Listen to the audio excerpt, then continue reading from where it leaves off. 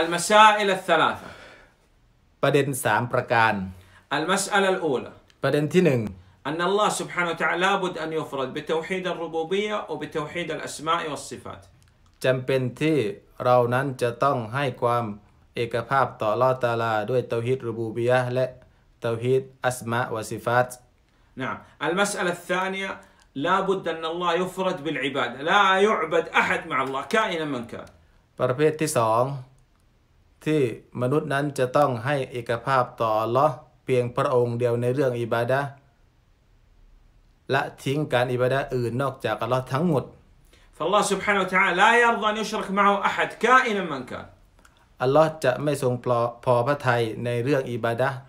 อื่นนอกจากพระองค์ทั้งหมด لا نبي ولا ولي ولا جني ولا صالح ولا ملك จากการอิบาดะห์จากนบีมาลาอิกะห์เอ่อ ชัยตอนมารร้าย และสิ่งอื่นๆ ทั้งหมด كائنا من كان أي أحد لا يمكن أن يشرك مع الله ไม่สามารถที่จะนำสิ่งอื่น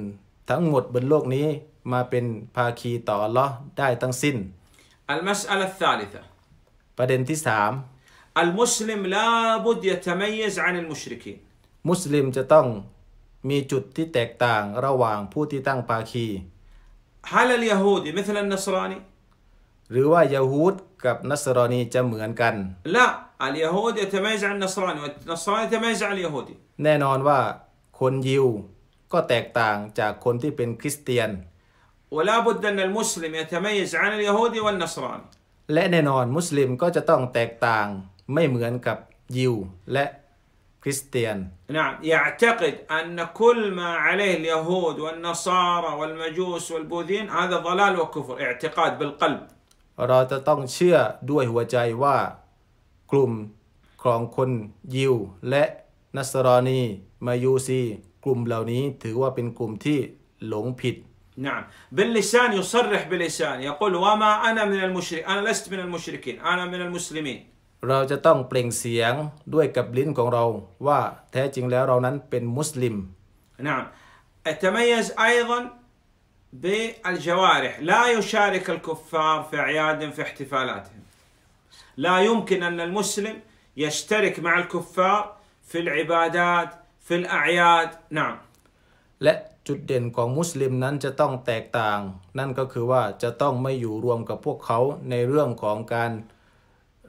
ทำอิบาดะห์ในเรื่องของเทศกาลเรื่องเรืองต่างๆ มากมาย كيف نتعامل مع المشركين مع الكفار เราจะคบค้าสมาคมกับคนที่ปฏิเสธ พวกนี้อย่างไร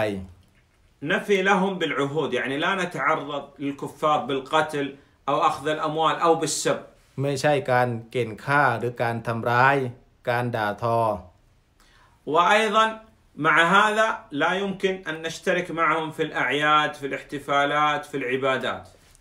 لا نشترك مع الكفار في أعيادهم في احتفالاتهم في عباداتهم แต่ไม่ใช่การอยู่ร่วมกันในเรื่องของประเพณี ในเรื่องของงานรื่นเริงของพวกเขา نعم ندعوهم إلى الله เราจะต้องเรียกร้องพวกเขาสู่อัลลอฮ์ نحب لهم الخير وهو الدخول في دين النبي محمد عليه الصلاة والسلام เราจะต้องรักที่จะเรียกร้องสู่ความดี นั่นคือรักไปสู่ศาสนาของอัลลอฮ์ و... نعم ونقول لهم هذا الطريق الذي أنتم عليه مخالف لما كان عليه موسى وعيسى عليهم الصلاة والسلام และแน่นอนแนวทางของพวกเขาคือแนวทางที่มันค้านกับนบีมูซาอะลัยฮิสสลาม وعيسى عليه السلام และท่านนบีอีสาอะลัยฮิสสลาม لأن موسى وعيسى عليهم الصلاة والسلام أمروا من يؤمن بهم أن النبي صلى الله عليه وسلم محمد عليه الصلاة والسلام إذا بعث لابد أن يتبع เพราะ ท่านนบีมูซาอะลัยฮิสสลามท่านนบีมูซาอะลัยฮิสสลามนั้นถูกสั่งใช้จากอัลลอฮฺซุบฮานุวะตะอาลาให้ พวกเขาเหล่านั้นศรัทธาต่อท่านนบีมุฮัมมัดที่ถูกส่งลงมา وكذلك عيسى عليه الصلاة والسلام أمر بهذا และท่านนบีอีสาก็เช่นเดียวกัน ถูกสั่งใช้ให้อีบเออีมานศรัทธาต่อท่านนบีมุฮัมมัด สัลลัลลอฮุอะลัยฮิวะสัลลัม عليه الصلاة والسلام فالذي لا يتبع دين محمد عليه الصلاة والسلام هو كافر كفر أكبر والله أعلم الذي لا يتبع نبينا محمد عليه الصلاة والسلام هذا كافر كفر أكبر ใครก็ตามที่ไม่ได้ปฏิบัติเชื่อ ตามแบบฉบับของท่านนาบีสุลต่านสลัมก็เท่ากับว่าเขานั้นเป็นบุคคลที่ปฏิเสธ และเป็นชิริกอันใหญ่หลวง والله اعلم